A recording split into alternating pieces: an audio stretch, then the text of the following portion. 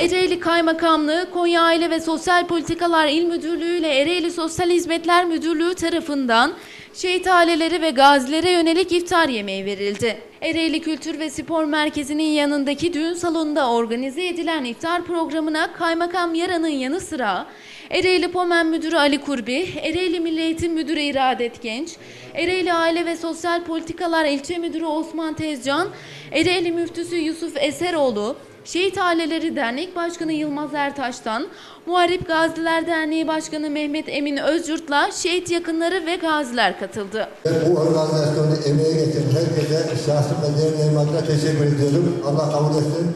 Yapılan etkinlikten memnuniyetlerini dile getiren Ereğli Şehit Aileleri Derneği Başkanı Yılmaz Ertaş'tan ve Gaziler Derneği Başkanı Mehmet Emin Özyurt, yaptıkları konuşmada her zaman yanlarında olan, destek veren Kaymakam Yaran'a böylesi güzel bir iftar programı için teşekkür ettiler. Böyle güzel bir akşamda yalnız çok seçkin misafirler ve yalnızca şehit aileler ve gaziler olmak üzere hep beraber bulunmanın onur ve kıvancı içerisindeyiz. Belediye Başkanı Özkan Özgüven ise yaptığı konuşmada şunları kaydetti. Tabii mübarek bir ay içerisinde dolayısıyla bu yemekli vesile oluyor. Hem şehit yakınlarımızı hem gazilerimizi, gazi ailelerimizi bu vesileyle görüyoruz. Bu da bir bizim için imkan. O anlamda bu ortamı sağlayan kaymakamlığımız ve Sosyal Hizmetler İlçe Müdürlüğümüze teşekkür ediyoruz. Biz de belediye olarak küçük bir katkıyla bu yemekte yer aldık. Tabii ki tarih boyunca bu ülke, bu yüce millet her zaman böyle hem iç dış güçlerin, hainlerin ve bu anlamda hep gözleri ülkemizde olmuş. Bu yüzyıllardan beri devam etmiş, hala da devam ediyor.